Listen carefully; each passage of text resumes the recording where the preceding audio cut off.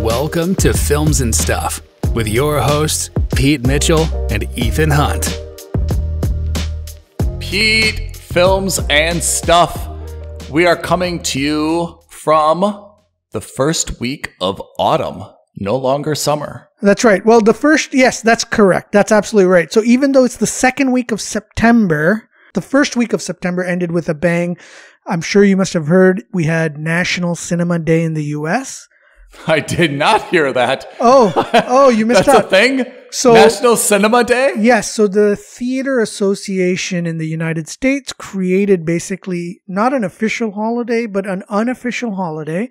Almost every cinema across the country on the 3rd of September charged $3 for every showing. A last hurrah for the summer and also a way to boost viewership because by saying, hey, listen, our tickets are normally I think the average in the US is like $9.25 or so oh, across the US on average. So they said, hmm. listen, we're basically 70% off. Come in, watch a movie, grab some popcorn, escape the heat, and get in on the summer box office. And that's exactly what happened. Oh man, I definitely would have done that. Keep me let remind let's remind everyone next year. That's definitely something we don't want to miss. That's right. So it actually it was it came to my attention after recording last week and it was something that slipped my mind. I had heard of the rumors, but it wasn't confirmed. So of course now it's too late, but we'll keep that in mind for next year. I think it was a very very big success in terms of attendance and I mm. imagine that this is something that the National Theaters Association or whatever that cinema association is in the United States will want to keep that going in the future because it really was a boon for the box office. And we actually saw a resurgence after quite a few weeks away from being number one on the box office. Top Gun Maverick came screaming back and took back first place again. God bless Top Gun Maverick, huh? Really saved the entire the entire summer box office. You raise a good point. Let's let's do a recap. Why don't we do a Let's do recap, of our predictions? Why don't you read off your top 10? Cuz cuz you were quite quite on the money for I think we both were. I think I would say that we pretty had a we had a good run. My top 10 prediction was in order from 1 to 10.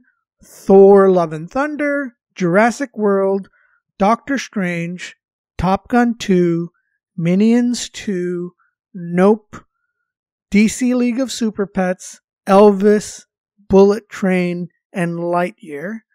And remember, I specifically put Lightyear in last because before it came Yep. out, it was already starting to get banned in a lot of countries in the Middle East and in East Asia. So there was a lot of negative press about it. And I thought that the American domestic gross would not be strong enough to support a worldwide ranking. I think when I look at your list, that is a very, very good list in terms of what you really thought was going to be the best, the highest grossing films. I feel like my list is a little bit, except for Top Gun, is a list of how good the films are going to be. But I here's my top Okay. 10. Yeah. I mean, I'm just saying that revisionist. That's not really what I wanted, or that's not really what I predicted, but I'm just saying based on the differences. I had Doctor Strange, Multiverse of Madness number one, Thor Love and Thunder 2, Minions 3, Lightyear 4. And I'd like to point out those top four were not the best four, but they did largely follow the ranking between those four. Then I had Top Gun 5. So that that's on me. I should have moved that up to number one. I Jurassic World Dominion 6, Bullet Train, Hustle. What is Hustle? That's the basketball movie with uh, Oh, Net- yeah. Adam Sandler on Netflix. Yes. Then I've got Elvis 9. You had it 8.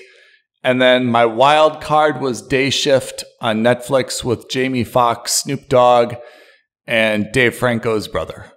No, just Dave Franco, James Franco's brother. this is Oh, same mistake you Dave made last time. Dave Franco himself, James Franco's brother. That's right. I, my, my big my big mistake was my big mistake was Top Gun. That's the only one I really wish I could take back. Well, you to read be out how honest, these I think Yeah. that, you know, I don't think either of us saw it happening on the scale that it did because, uh, you know, first of all, it was an amazing movie, by the way. It was a I great movie.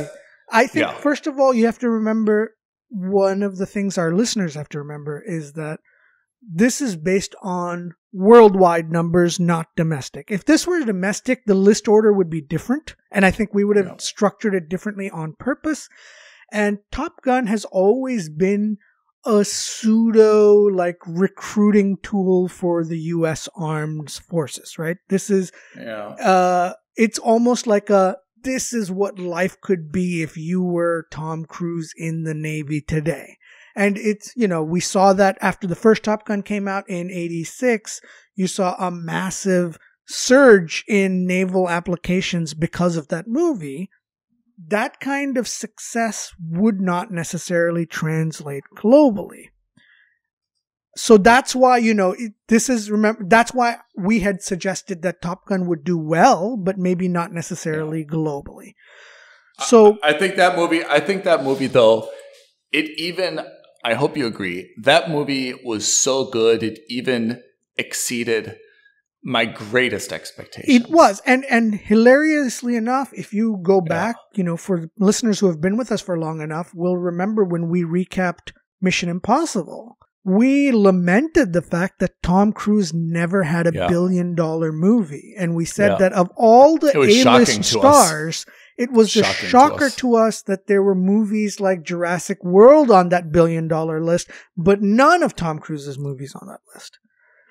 Don't get me started on Jurassic World. Yeah. I know you're going to get me started, but do not get me. Started. We're gonna have to. All right. So without further ado, why don't we why don't we talk about the actual results?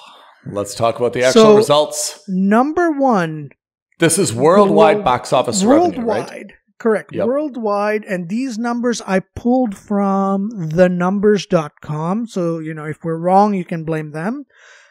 Number one global movie of the summer, was- uh, which kicked off if I want, if I remember correctly, either March first or April first. I can't remember, but it was like a weird. It wasn't what we would normally Yeah. consider a summer blockbuster, Yeah. uh, a summer kickoff based on yeah. uh, actual, you know, calendar Correct. year. But anyway, Mhm. the number one movie of 2022 summer box office, Top Gun Maverick, with 1.44 billion dollars worldwide. Well deserved. Well deserved. Well deserved. Really a good movie. I think if you've heard our uh, review, you know exactly the problems we had with it. But in general, we both agreed that this was a stellar movie through and through. Stellar and movie. Quite possibly the exemplar of how legacy sequels, if not all sequels, should be made. I cried. It was fantastic. Simply put, there should we should have a new rating system. Did Ethan tear up? then our second most successful movie this summer, Jurassic World Dominion, with $998 million. I find this to be fraudulent. I find this to be absolutely fraudulent. In the history of Jurassic Park, I've I've really tried to defend this franchise. This movie was just honestly garbage. yeah. Then you have The only I, I I just want to say one more statement because I'm so frustrated by this movie. I think that this only was popular because or it was it only generated this amount of money because of brand name recognition and it must have been the only thing in theaters and people just went to it. Yeah. Because nothing about the the cinematic qualities of it justified to be a billion dollar movie. Certainly, certainly. Then you had number three, Doctor Strange, The Multiverse of Madness, with 952 million, which, if you remember correctly, when it first came out, all the critics said that this movie was a box office flop. And with all due respect to those critics, $952 million but is not a flop by any circumstances, Yeah. and certainly not for a character. This has nothing to do with Benedict Cumberbatch, who's excellent, but with a character who is, for all intents and purposes, a B or C tier Yeah. character within the comic universe. Yeah. That's a huge deal. Can, can we say something about Strange MOM though? Yeah. I mean, I, I think that if you're at if you're at MCU, like you're kind of breathing a sigh of relief. You know, it's kind of like, okay, like we basically got a billion, like we all keep our jobs yet, you know? I, I think if, I think they probably wanted like this to be 1.2, 1.4, 1.6, like the good old days. I think a billion was really the minimum they could have brought in and, and still kind of kept their jobs. I don't think anyone in the strange world is really celebrating this. I think they're breathing a sigh of relief and they're kind of like, yeah, that's, I that's kind does- of the score we needed to get. I think it does two things. One, I think it solidifies, at least in the mind of Disney, it solidifies that Benedict Cumberbatch is the de facto leader of the MCU going forward because his results out, far outpaced even Thor, and we'll get to that. yeah. So I think it, you know, it confirms that okay, we no longer have Robert Downey Jr. in Iron Man. We no longer have, you know, Chris. No more Chris uh, Evans. Chris Evans as Captain America. So who's going to be our anchor point that everyone likes in the MCU? I think this solidifies that for Benedict Cumberbatch. And two, I think it also comes down to budget. I think the budget for Doctor Strange was far less than it was for, for example, Thor. And so, which further proves that, at least in Disney's mind, that you don't need to spend $300 million to make a movie that's profitable, uh, at least this profitable. And again, and I think that, again, we're going to talk about that with Thor. That's where it really boils down to.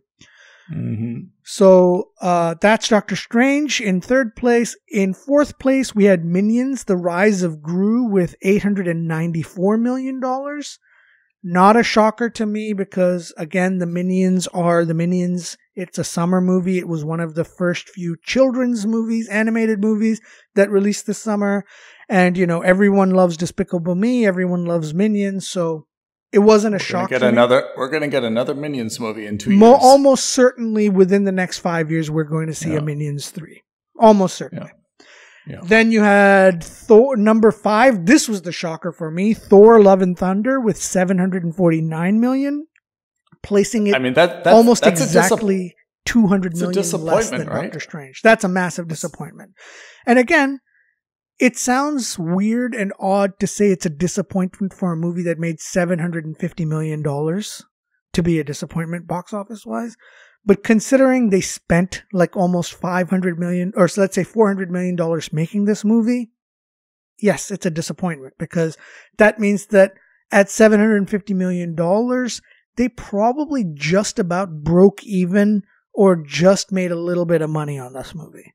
So in terms You know, of financially, not that Yeah. great. Critically, I mean, not that great. I, guess the way that I look at it also is that I mean, there's there's the money itself, right? And this is all could be like a little bit fuzzy accounting. So I mean, let's not get too bent out of shape over it. But I think there's also an emotional aspect of this, Mhm. right? Which is when you left the theater, Thor: Love and Thunder, was the overall audience sentiment like that was amazing? I can't wait for the next one. Yeah. And the, Not the answer is that I think that's the bigger problem. Like if it's 749, you could argue like, ah, you know, there was bad weather, the release schedule, blah, Absolutely. blah, blah. But, and, and you could justify it somehow. I mean, but that's half of Ragnarok. And Ragnarok, I left Ragnarok like saying, whoa, I wish that never would have ended. If that movie was another hour, I gladly would have sat through that movie. Thor Love and Thunder, like it started slow and it continued slow. And by the time it ended, you know, like I was ready, like packing up my tissues and packing up my everything, and I was I was ready to go. You know? I- Yeah. and and I think that's that's really the problem, which is emotionally, I don't think that anyone left still hungry for more Thor and definitely no one left you know like this new storyline now with his his potential daughter i don't think anyone's like oh my god i've got to see how that plays out Yeah. Yeah. I think there's no that's the I think that's the other thing that the MCU really has a reckoning with is because they're so now devoid of superstars. yeah so there's two comments I have with the MCU, right? So one is because of that, they've kind of focused on building up a younger stable of talent. It's almost like the minor league. Like in every one of the movies and TV shows, you've got a younger new Hawkeye. You've got a younger new superstar, uh, not superstar, but star in America Chavez in Doctor Strange 2, right? Because she's also, she's going to be the younger one there. Mm-hmm. In Black Panther 2, we're going to be introduced to Ironheart, who's going to be like supposed to be the new re- iteration of Iron Man. You've got on one hand the MCU basically saying, okay, let's build up our stable of talent for the next couple of phases, kind of like what we did with the first phase, right? And so what we'll do is we'll restock our talent with really young actors so that we can kind of hold on to them for as long as possible. And I think their mentality right now is kind of becoming like a sports team. So I don't know if you saw this, but there are rumors that for the next phase of the MCU, Disney has signed contracts with John Krasinski and like they they named a bunch of uh, A-list superstars, right? And that announcement on Twitter, it felt really like what you would see at like the NFL combine or at like the trading day of like a baseball team. It almost felt like they were announcing their roster for the next phase. Kind of like, forget about the DC extended universe. They're all in rough shape there. If you want to talk about a superstar, uh, you know, superhero team, you should stick to Team Marvel instead of Team DC. We've just signed these five A-list actors and they're really going at it. It really made me feel like I was watching uh, a draft day or a combine and they were like, okay, well, these are the guys that we're signing. And, you know, we've signed 10 year contracts with them. It was quite impressive, actually. So it's a bit of a mixed metaphor, I know, but I figured that, you know, you'd appreciate that given the sports analogy. I do appreciate anything that has NFL combine. Yeah. Uh, okay, so right. sorry, that was Thor number six. So, yeah, so, so let's just say the top five yeah. are dramatically more profit or not maybe not profitable, dramatically higher revenue. Revenue. And once you get be- between five and six, right, almost five hundred million dollars less, half a billion dollars. That's right. right. And you raised that point earlier, and that, I didn't even think of that, but you're right. It's a precipitous drop. And I think yeah. it just goes to show you the stakes that are involved with these movies, yeah. right? I mean, even in the top 10, you're talking about a difference between the number one movie and the number 10 movie. We're talking about a difference of $1.2 billion. It's not, that's crazy in a span of five months. That's insane.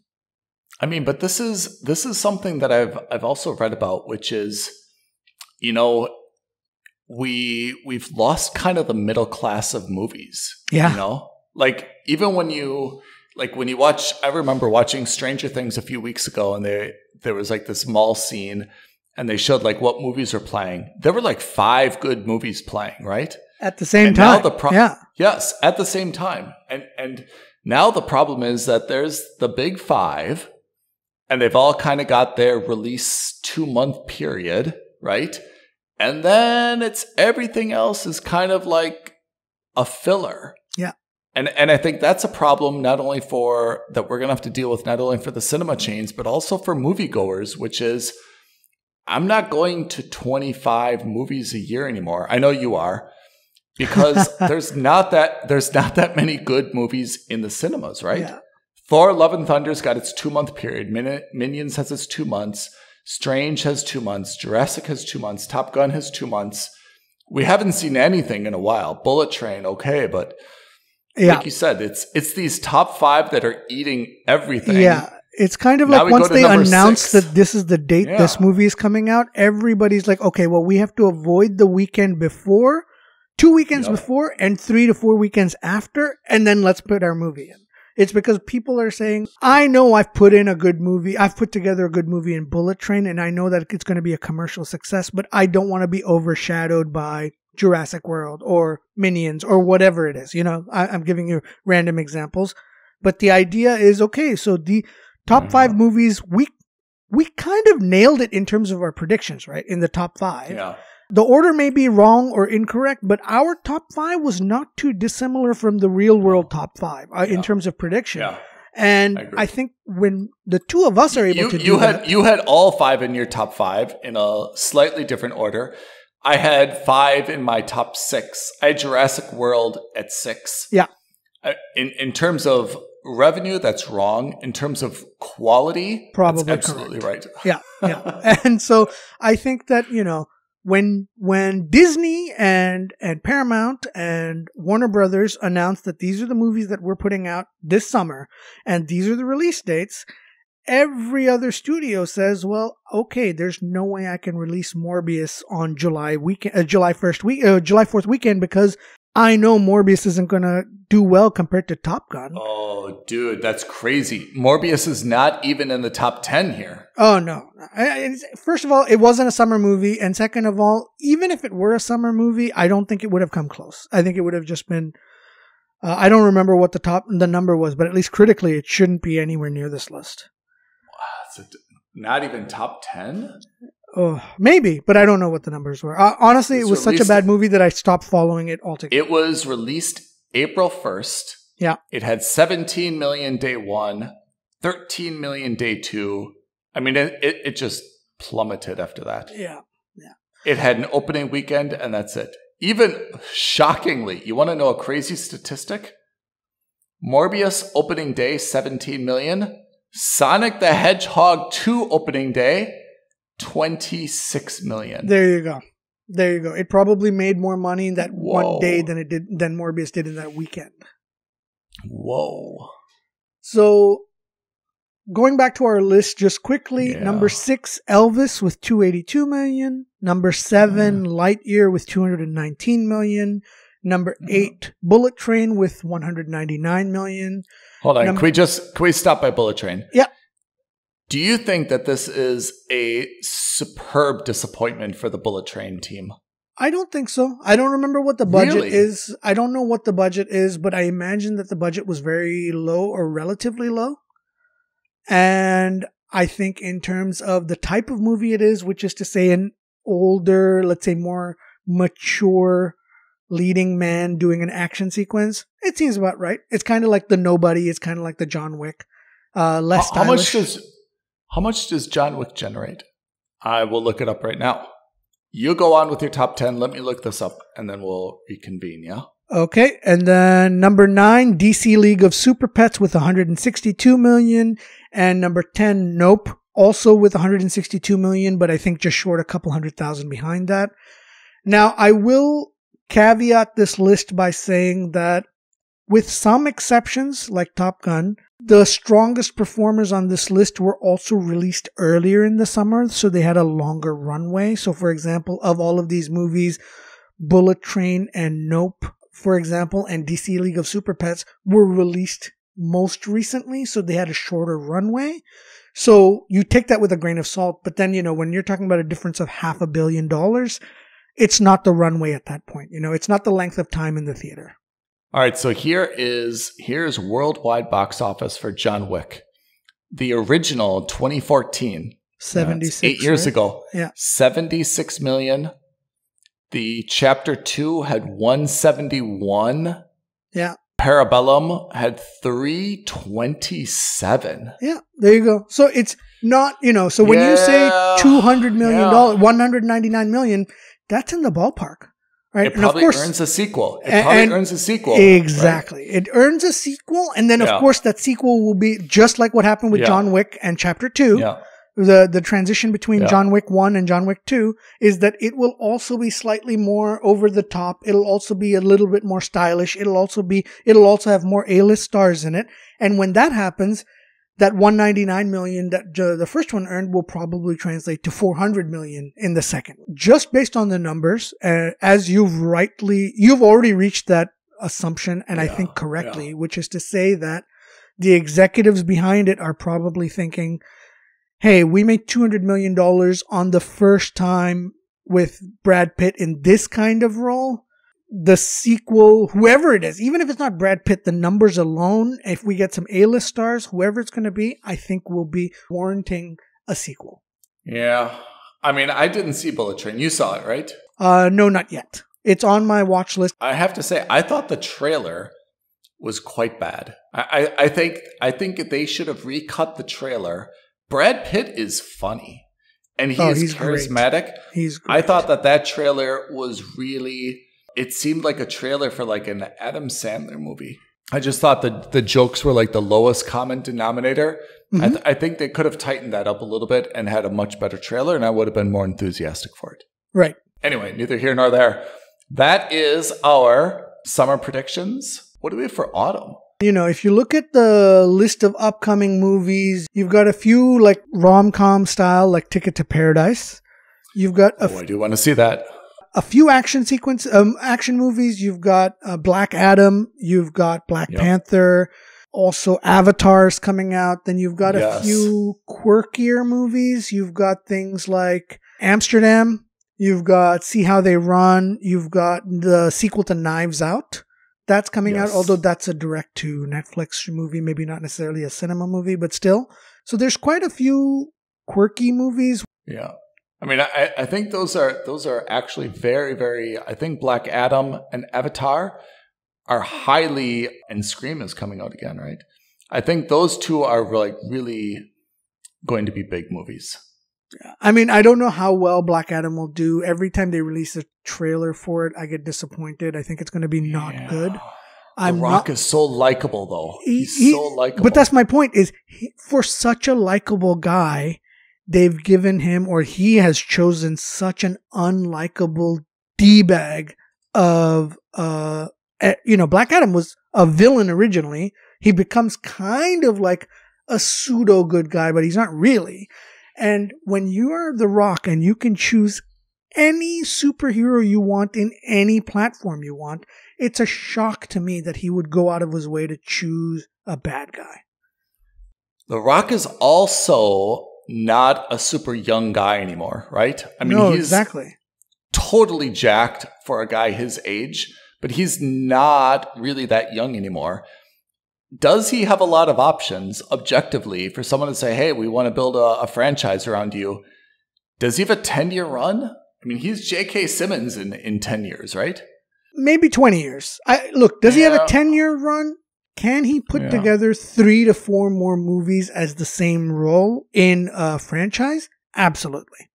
I definitely Yeah. think he can. Would he have had a better run in terms of physical presence Yeah. 10 years ago, I also agree to that. But my feeling is that he has a lot of star power and negotiating power. And Yeah. uh, Warner Brothers doesn't. Like, they don't have that Yeah. leverage. David Zaslav, Yeah. for all his strength, does not have that leverage with the DC universe. I think What, what if- character is there for him, though? I mean, maybe that's the problem is that a lot of the characters have been, you know who he could have been? And this is going to be controversial. He could have been Green Lantern. He could have been one of the original seven founders of the Justice League. They have a black Green Lantern. I don't know why they didn't go with him. And then you kind of sweep away the Ryan Reynolds thing. And frankly Yeah. speaking, Green Lantern is a way more compelling character and a way more important character than freaking Black Adam. Yeah. Yeah.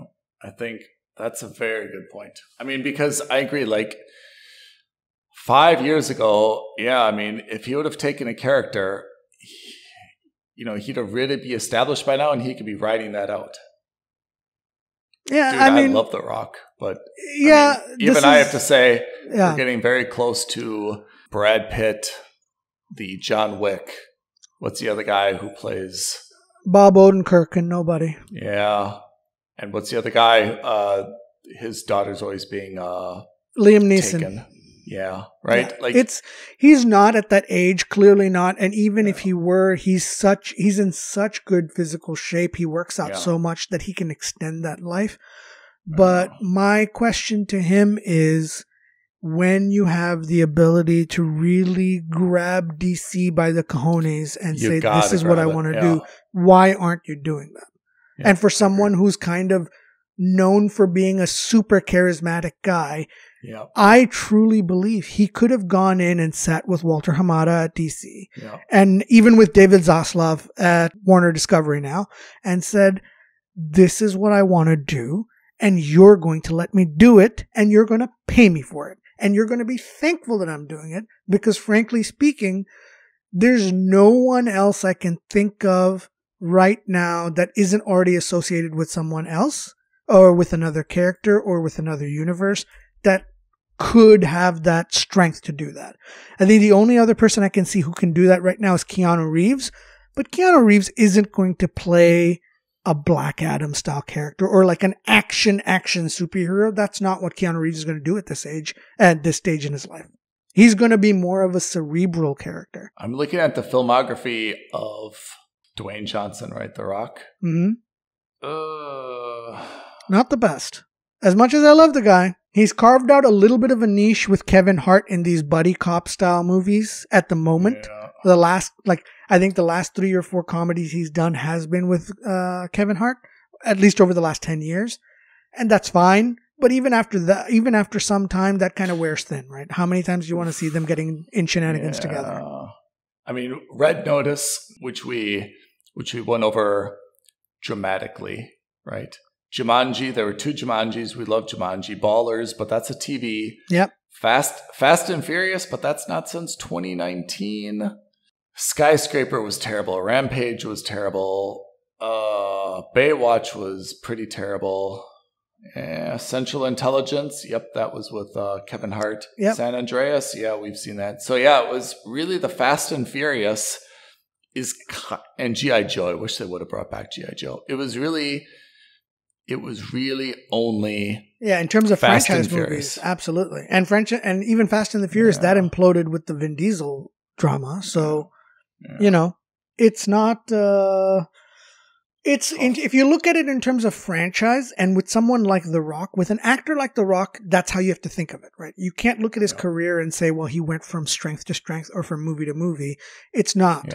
It's because with actors of that kind who kind of rely purely on charisma and who kind of rely purely on physicality, you go from franchise to franchise. You that's how you Yeah. determine success. He's not like, Like- a Tom Cruise when you're looking at 12 different roles over 12 different years and each one of them is stellar because the acting is stellar. With the greatest of respect to The Rock, oh. Man. there's a reason why Jungle he hasn't been nominated Jungle for Cruise in 2021. I Yeah. mean, that's that's exactly what he should not be doing. He should have taken.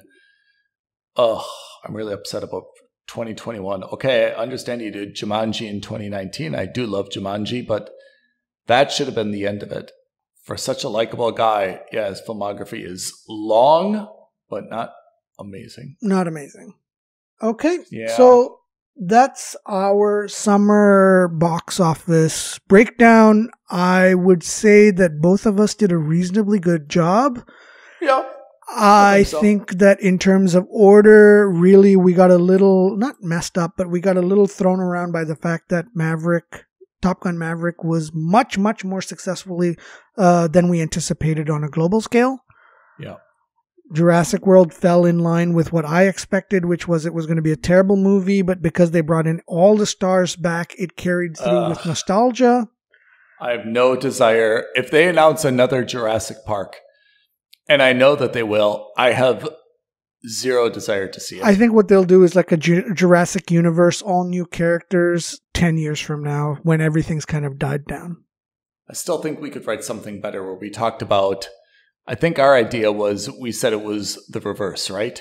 Yeah, That where the, like they bring the back some, dinosaurs di- were some flu or some kind of pandemic because uh, yeah. that's some Although ancient that thing. hits, yeah, but that really hits hard for. I mean, that really hits home now, right? Pandemic movies are really No, I agree. Maybe not the maybe not the most appropriate, but you know what I mean. Yeah. Like some kind of sickness that can yeah. that has to that results Yeah. by the fact that and then we learned that maybe it wasn't the meteors that knocked Correct. the dinosaurs out it was actually Yes. this you know what i mean Correct. that's what i mean so Yeah. It- they need to change the narrative. Right now it's it's just so like bilateral, right? It's dinosaurs versus humans. Every every installment is is some type of narrative some about that. form right? They of need to- how do we cage the dinosaurs Correct. how do we trap Yeah. them versus how do we work with them you know exactly so okay All right, so Pete. That is our results we did well thank you everyone if you've got any notes you want to send us or any messages you want to send us about what you think about this summer's box office. Let us know. Aloha at filmsandstuffpodcast.com or tweet at us at FNS Podcast. We've got updated website, updated logos, updated everything. Please check it out and give us your feedback. Thank you, everyone. Thanks, everyone. Have a great weekend ahead. Thank you, Pete. Thanks, Ethan. Bye. Thank you for listening to another episode of Films and Stuff. If you haven't already, please subscribe and review on Apple Podcasts, Spotify, or wherever podcasts are downloaded. Films and Stuff. There is no substitute.